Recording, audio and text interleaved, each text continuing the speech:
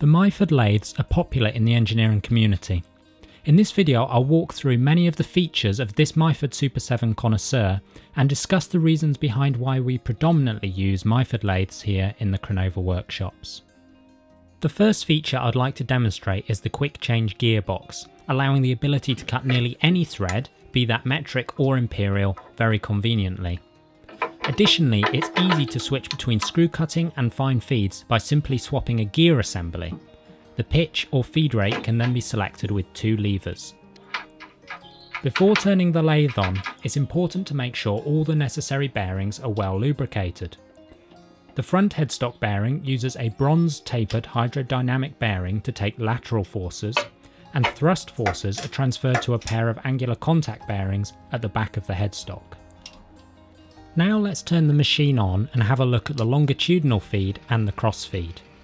One of the compromises here in comparison to a toolroom lathe is the use of the lead screw for fine feeds rather than a dedicated motor as you would see on a Hardinge HLV for example.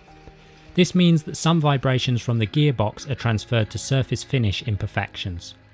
In reality though we find this to be a minor limitation which we can overcome by using alternative finishing techniques. The Super 7 lathes come fitted with a clutch, which is great for many older motors which aren't well suited to being turned on and off regularly.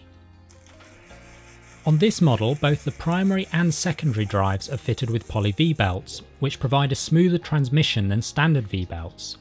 From our experience though, this improvement is only noticeable at higher speeds, but for discerning users it is possible to convert the standard V-belt drive on the standard Super 7. Here we show the mandrel handle, which is a great addition for screw cutting. The top slide on the Super 7 lathe can be rotated a full 360 degrees. It's not very often you need to go beyond 60 degrees, but sometimes it can come in very useful. Here we show engagement of back gear, which provides a significant speed reduction with an increase in spindle torque. The ball wheel used for the back gear can also be used for indexing. In our previous video, we suggested using the lead screw hand wheel for moving the carriage. Here we demonstrate an alternative which makes use of gauge blocks and a custom built stop. The gauge blocks can be placed on a shelf fitted to the gearbox, and then a rod can be moved up until it touches that gauge block. When the gauge block is then removed, the carriage can then be moved accurately by the size of the gauge block. Here we show machining up to a shoulder using this method, but this is particularly useful for boring a blind hole, where it's difficult to see what exactly is going on. One of the key improvements of the Super 7 over the ML7 is the tailstock. The thrust bearing installed in the tailstock makes drilling an absolute joy. One of the modifications we made to this tailstock barrel is engraving numbers to make it easier to read drill depth. When doing small work, the Myford can be a bit unwieldy.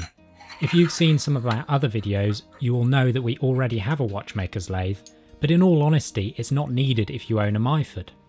A collet adapter can be fitted, which could be an ER16 system, as you see here, or a horological collet adapter, which allows holding small workpieces.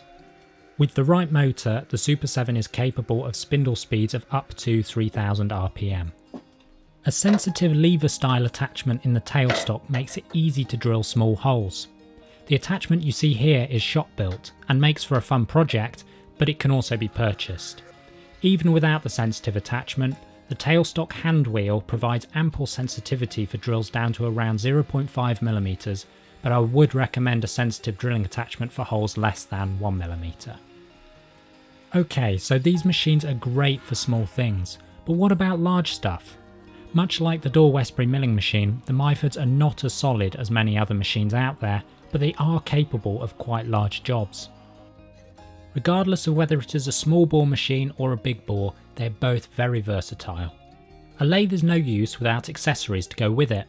The most important spindle chuck is the 4 jaw independent, and any other chuck, such as a 3 jaw, only adds to the convenience and not to the capability. A tailstock chuck is also a must, we're a fan of the Albrecht keyless chucks, although they can be a bit pricey. Another great feature of these machines is the gap bed which provides a 250mm diameter swing. This is phenomenal for a machine that can be lifted by only two people.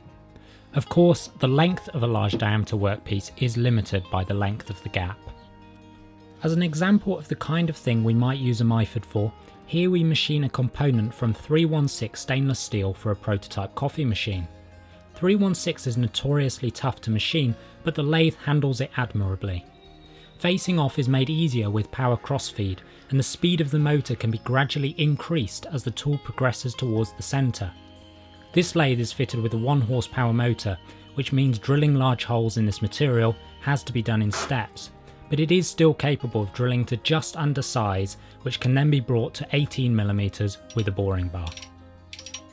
The component is finished on the milling machine, and for the sake of completion we'll show the rest of the process. We cover the milling machine in a previous video. The Dore Westbury makes an excellent companion for a Myford Series 7 lathe. The design principle is similar, i.e. these machines are not designed to be used in a tool room for a specific job, but rather do as many small to medium jobs as possible. Of course, a Hardinge HLV is an amazing lathe, undoubtedly superior to a Myford Series 7 in many respects, but it has drawbacks. The machine weighs nearly a tonne, and yet it has a similar swing and even a smaller distance between centres to a Myford. These toolroom lathes often don't have a T-slotted cross slide, which means you can't easily use a vertical slide or bolt your workpiece to the cross slide for line boring operations for example. Fundamentally, this is why we love the Myford lathes. Thanks for watching this video. If you enjoyed it and would like to see more in the future, please subscribe.